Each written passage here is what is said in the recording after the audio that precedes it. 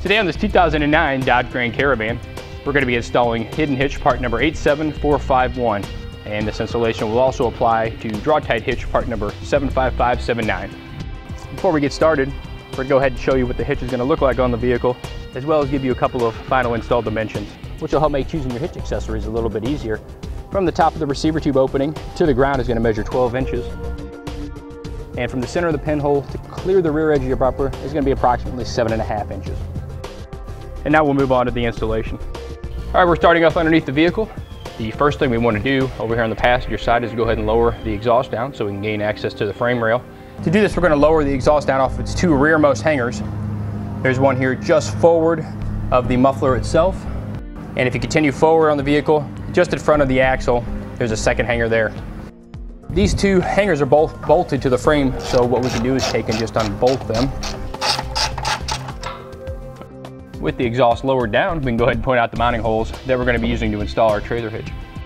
Looking at the bottom of the frame, you can see we've got two existing bolts here, just rearward of the air conditioning lines. We're going to remove those two bolts, put the hitch up, and actually reuse that same hardware to attach the hitch to the frame.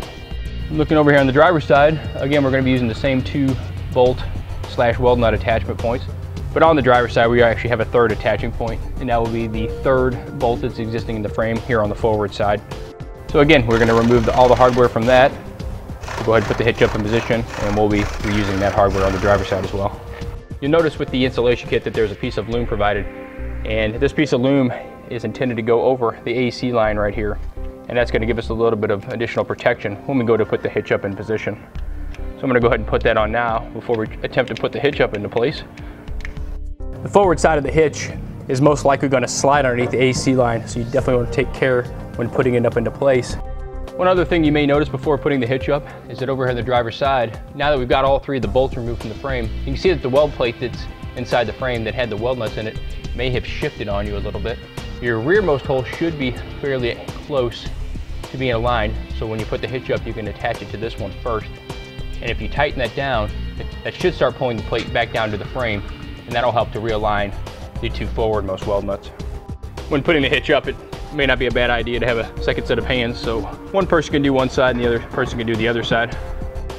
And you can see again over here on the passenger side, when putting the hitch up, that I had to pull down a little bit on the AC line to get that in position.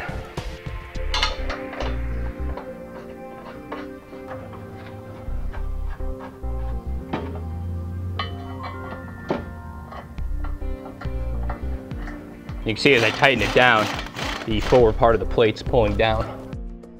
And you can see now the plate's back down, but it's the holes are still a little bit off center. So what I'm gonna do, I'm just gonna take a Phillips head screwdriver, come in and just pry the plate over a little bit.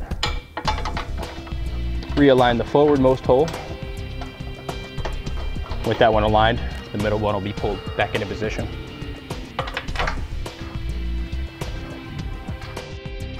From there, we just want to tighten our bolts down, and then we'll go back through and torque them down to their specified torque rating.